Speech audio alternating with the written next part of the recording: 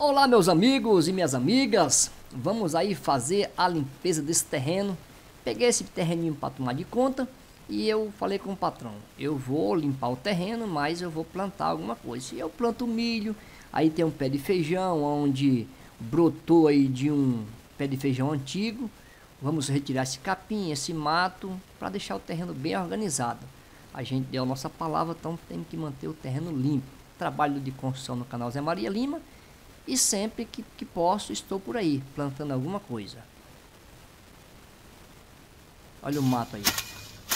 A enxada não está cortando bem, vou já passar uma lima para amolar, né? Olha o capim como cresce. Aí, é um, aí nesse pé desse muro tem uns cascalhos. Aí não dá para limpar muito. Eu só corto o capim e jogo outro capim por cima para poder abafar e não crescer tão rápido. E aí, nota que aí do meu lado para o muro, a terra, o capim é menor. Essa terra aí é mais fraca. Então aí eu, eu não planto nem muito milho porque eu planto mais... O estado de milho que a gente deixou, está se decompondo. Isso aqui vai virar adubo na terra. As espigas é pequenininha, então eu, olha, eu falei que tá se decompondo os talhos de milho, né? Então assim, então a, essa matéria aí, ela é a matéria onde a gente não pode tocar fogo. O, tem um colega que trabalha com, com, com terreno também, ele falou que eu não posso juntar tudo, tem que deixar um pouco em cima da terra para virar adubo, senão a terra vai enfraquecendo a, todo mato que você carpir é muito deixa no terreno, não pode tocar fogo, porque você está prejudicando o solo quando toca fogo. Porque é a proteína da terra, o alimento da terra e o adubo é esses capim. Aí a bolinha do, do garoto que ele jogou aí, ó. A gente vai devolver. Temos aí um pé de feijão. A gente vai fazer de tudo para não danificar o pé de feijão porém ele está entre os galhos de milhos antigos que a gente deixou aí e ele vai trincar um pouco. Ó, essa serragem todinha eu, eu levo para minhas galinhas. O que for de serragem a gente tá levando.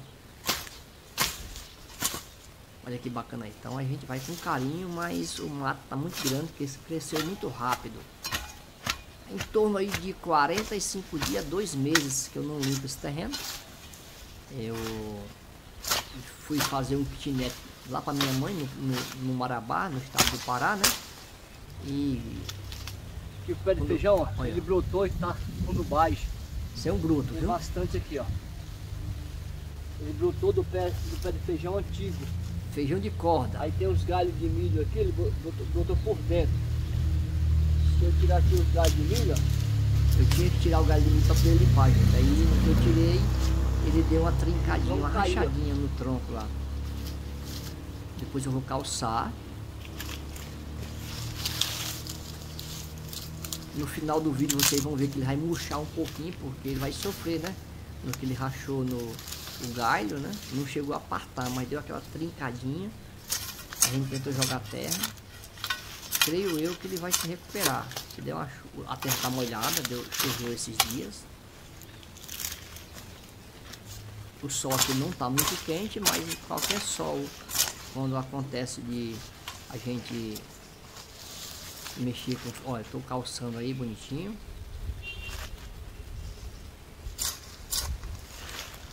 Olha, jogando terra, isso é importante. Qualquer trabalho que a gente for fazer, temos que dar o nosso melhor, não tem, não resta dúvida. Olha o tamanho do mato. Esse mato aí, ó, a terra já é mais forte. Aí é onde os milhos dão umas espigas melhores. Aí eu planto em torno de umas 50 covas de milho. Na realidade, era para me ter arrancado só um ou dois. Deixa esses pés aqui. Isso aqui, gente, tem relatos que as pessoas colhem essas folhas mais novas e serve até para fazer salada, almeirão. É, eu, eu nunca fiz salada desse almeirão não, mas a minha esposa fala que serragem também, ó. dá para fazer sim. Serragem tem relato que dá para fazer até salada. A serragem também dá, se for uma serragem bonitinha. Esse pé de feijão aí tava muito cheio de mato, que a terra aí é boa. Tô tentando, eh, você vê que ele tá apoiado nos matos. Quando você tira o mato, ele fica meio caindo, solto. Porque ele cresce. Muito. Vou tirar as bases e vamos ver se vai crescer de novo. E agora ele vai se acomodar na terra aí. E, e sem mato, vamos ver se eles vão crescer. Daqui uns dias eu mostro para vocês como é que tá ficando aí.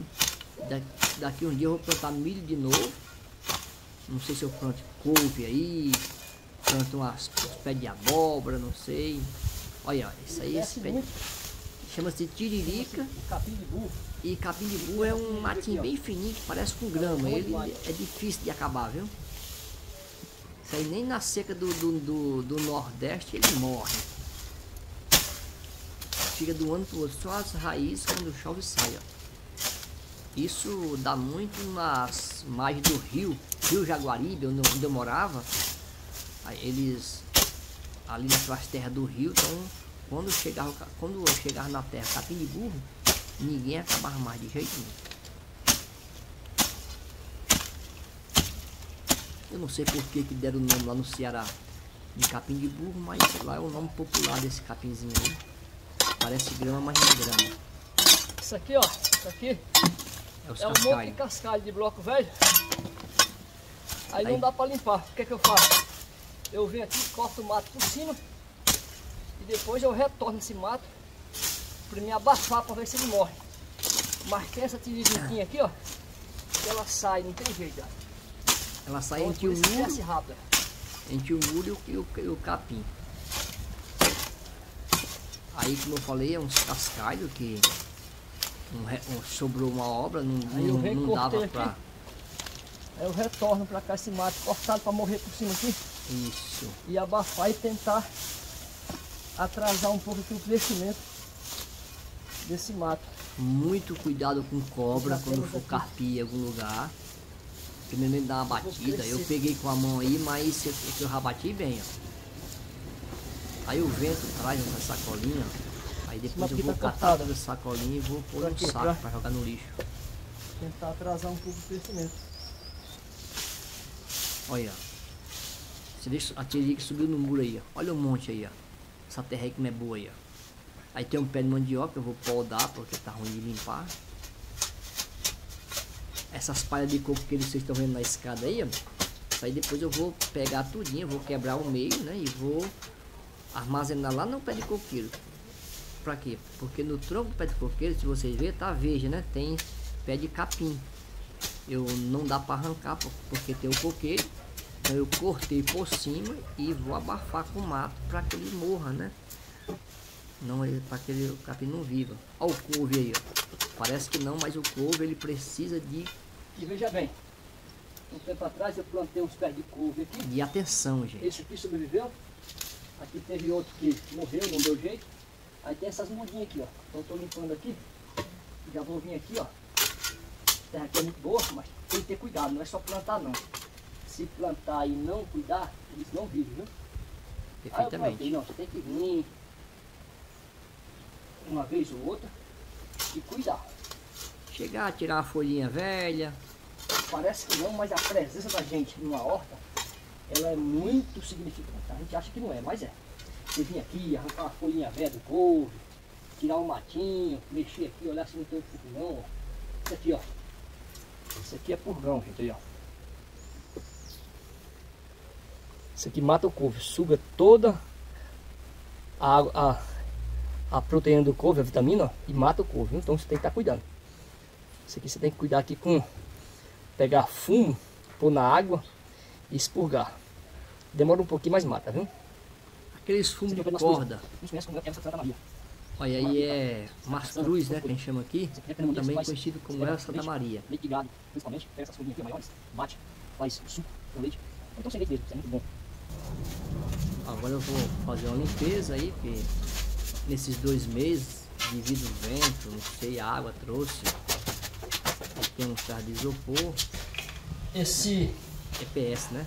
ralo aqui tá com a grelhinha quebrada. Tem que trocar esse ralo aí, Se ó. esse pedaço de EPS isopor passar por aqui, ó, não passa no tubo. a tubulação. Aí vai dar, vai dar vazamento em algum lugar. Estamos aí finalizando a nossa limpeza. Estamos quase finalizando o nosso trabalho.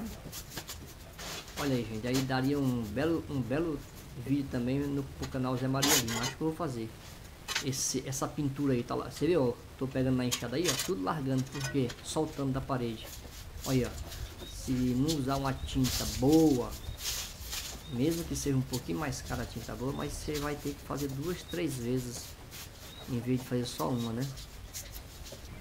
Olha só, então aqui. Olha só, gente, mais uma tarde, né? tarefa né? cumprida, ó. Limpamos o terreninho aqui rapidinho. Feijão Agora aqui, ó, jogamos as palhas e os matos mais grossos no tronco do coqueiro lá. Aqui é um cascalho, ó, no pé do muro, vocês viram. Então a gente pegou e jogou também alguns matos para abafar o mato de baixo, que não dá para ter no cascalho aí. Ó. Depois a gente vai dar uma, uma catada de algum um pezinho que ficou. vocês. Esse almeirão aqui, o mato depois grande, então às vezes fica algum pezinho para trás, né? Então um abração, até o então, próximo vídeo. Fui, tchau, minha tudo, gente. a escada bonitinho. E é isso aí. Vamos que vamos. Um abração para vocês. Olha os passarinhos ali, ó. Estão todos felizes.